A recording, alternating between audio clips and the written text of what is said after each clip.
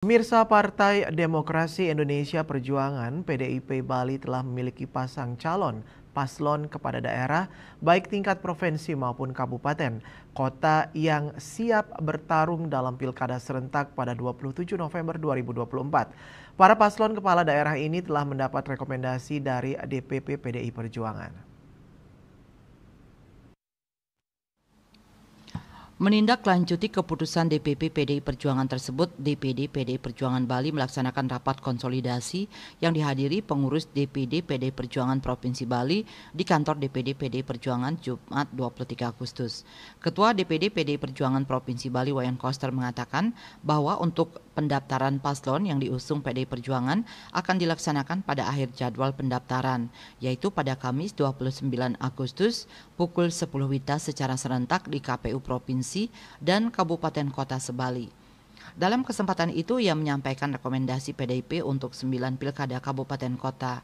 Di kota Denpasar, pasangan petahana Igusti Ngurah Jaya Negara dan IKD Agus Arya Wibawa yang direkomendasikan. Untuk calon bupati dan wakil bupati Badung direkomendasikan pasangan Iwayan Adiarnawa dan Bagus Alit Sucipto.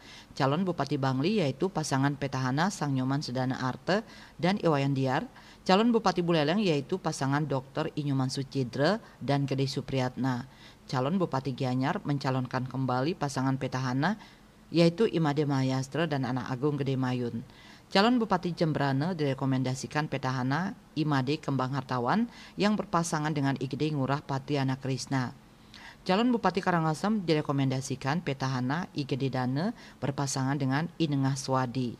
Calon Bupati Klungkung direkomendasikan Ikadek Satria dengan Cokode Gede Surya Putra. Sedangkan calon Bupati Tabanan masih dipercayakan kepada petahana yaitu Ikomang Gede Sanjaya dengan Imade Dirga.